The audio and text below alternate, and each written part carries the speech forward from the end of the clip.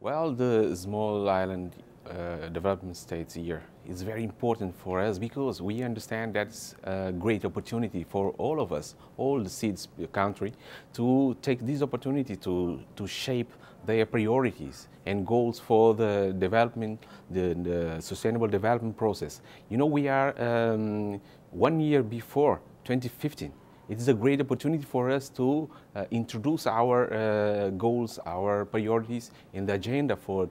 uh, post-2015.